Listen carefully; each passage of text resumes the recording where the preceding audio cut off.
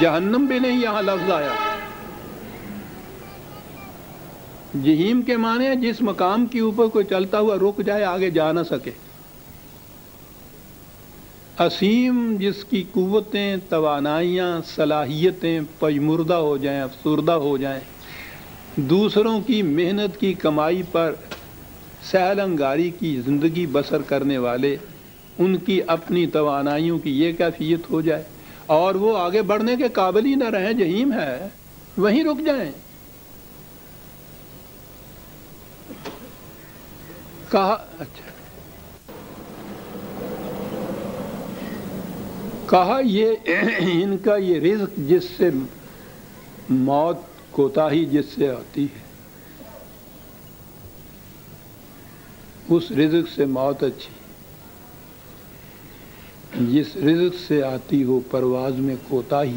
ये परवाज में कोताही जो है, ये है असीम। ये है रिज्क जो बताया गया है कि इनका रिज्क बाहर तो नज़र आएगा कि नहायत उम्दा सब कुछ खाने को मिलता है। जुज्व बदन नहीं बनता। ये हजम होने वाला, ये ये रिज्क नहीं है, एसिमिलेट होने वाला नहीं है। ये वो चीज़ है इन एनिमेट कि जिसमें खुद ज़िंदगी नहीं है और वो जो जुज्व बदन नहीं बनता, खोलता हुआ तांबा। यानी ये समझाने के लिए कि जो खाया जाए, वो तो जुज्व बदन बनना चाहिए, हजम होना चाहिए। उससे इंसानों की कुत तोानाइयाँ बढ़नी चाहिए। लेकिन अगर एक फॉरेन मैटर वो जिसम के अंदर डाल दिया जाए तो ठीक है, पेट तो भर जाएगा उससे, बोझ से। लेकिन उससे आपको वो रिजक तो आपका नहीं बनेगा। तोानाइयाँ तो उससे नहीं हासिल होंगी। ये निज़ाम सरमायादारी का हासिल करदा रिजक जो है, इंसानियत की तोानाइयाँ नहीं उससे बढ़ती। बोझ तो बड़ा होता है उसका, वज़न तो बड़ा होता है उसका। लेकिन उससे तोानाइयाँ और सलाहियतें नहीं बढ़ती। प्यास के लिए पानी तो है प्यासे को गर्म पानी पिला के देखिए। जिसे हमारे यहाँ कहते हैं ना, पटकी लग गई। पानी पिए जाए, प्यास ना बुझे। कुरान ने यह बताया है, निज़ाम सरमायादारी के मतलब मशहूर एक सौ एक सौ दो।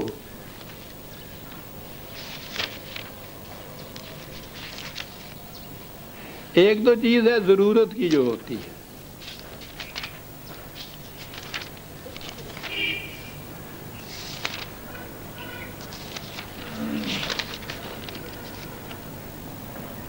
ज़रूरत की चीज़ जितनी हो, ये जितना भी निज़ाम है, सरमायादारी का, ज़रूरत तो बहुत थोड़ी सी चीज़ों में पूरी हो जाती है उनकी। ये बाकी जो हवस होती है चल सो चल जिसे हम कहते हैं। एक मिल है नहीं, एक और लगनी चाहिए। एक फैक्ट्री एक और बनना चाहिए। एक और ऑर्गेनाइजेशन खड़ी कर दी जाए। उसमें भी शेयर ले लिए जाए, उसमें भी छीन लिया जाए। ये जायदाद भी बना ली जाए, वो और कोठियाँ भी हो जाएँ। ये क्या जज्बा है जिसके ताबे ये सब कुछ हो रहा है? ये ज़रूरत तो नहीं है। अल्लाह मुतकासुर कुरान कहता है, ज़रूरत की तो एक हद होती है। कितनी रोटियाँ खा लेगा?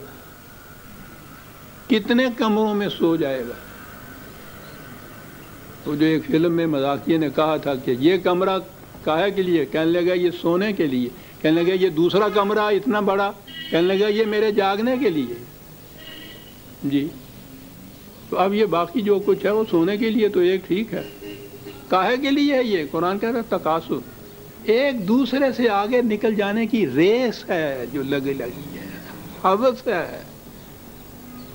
तो इस रेस का कोई एंड भी है, भूख का तो एंड है, प्यास का तो एंड है। सोने के लिए भी एक ही पलंग चाहिए, आप कितने और एक ही कमरा चाहिए। इसका तो नहीं, इसका कोई अख्ताम भी है मुल मकाबर। कहने लगे कि हाँ आखिरी मकाम इसका है, जिसे कबर कहा जाता है। आह कबर दिया कना तक रेस जारी रही है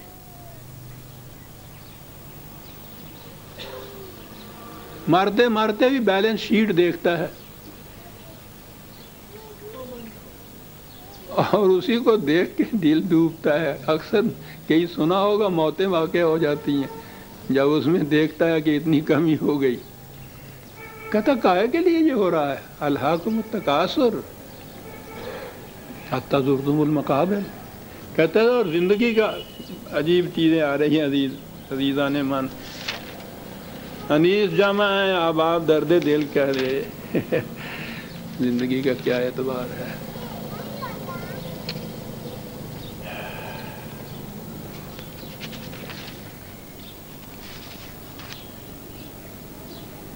कहता ज़िंदगी का मकसद क्या रह जाता है 104 सूरत। आखिरी सूरतें अजीब व गरीब सूरत बड़ी कंसनट्रेटेड फॉर्म में पैगाम आता है। अल्लाह जी जमा मालम व अद्दा कहता ज़िंदगी का सारा मकसद ये रह जाता है, दौलत इकट्ठी करते चले जाएँ और फिर उसको गिनते रहें। बस मकसद हयात। दौलत इकट्ठी करते रहें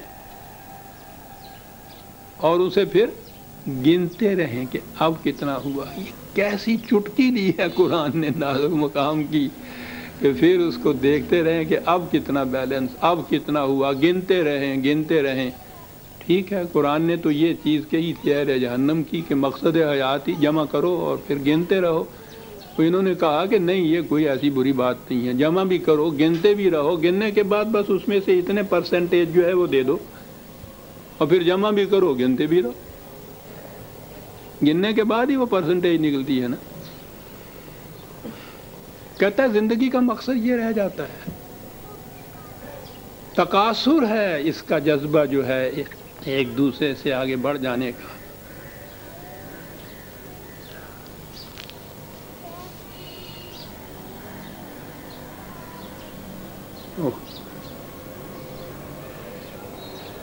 कहता ले जाओ इसको। वस्त जहन्नम के अंदर इसको डाल दो। और अगली चीज़ है अजीज़ा ने मान। डालो वहाँ और इससे कहो जुख इन्ना का अंतल अजीज़ुल करीम। तू बहुत बड़ा बना फिरता था।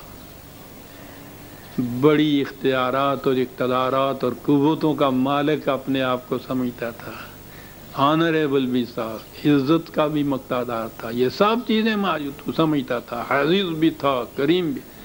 क्या लफ्ज़ है? जुक अब चख मज़ा अपनी उस तमाम ज़िंदगी के सरमाए का।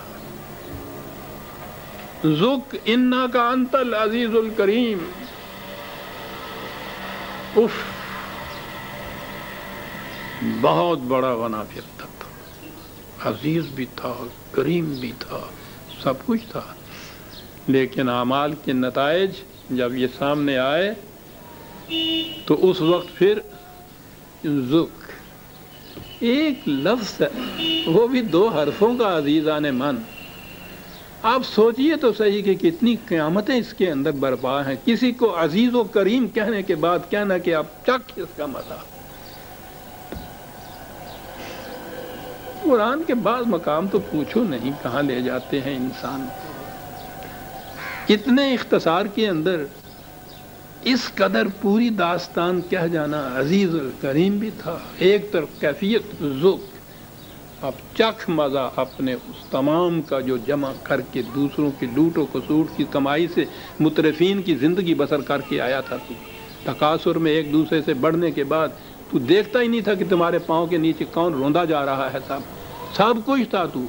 इज़्ज़त भी तू बहुत करा रहा था। गलबा भी तेरा इकतदार और इकतदार भी बहुत कुछ था। जुक अब चख ज़रा उसका नतीजा इन्ना हाजा माकुन तुम बही तम तरून ये है जिसके मुतलक तुमसे कहा जाता था। और तुम कहते थे कि है कहाँ का अदा वो कहाँ की जजा और कहाँ का सज़ा तुम इसके मुतलक अपने आप को फ्रेम में रखे हुए थे। धोखे में रखे हुआ था तुमने अपने आप को।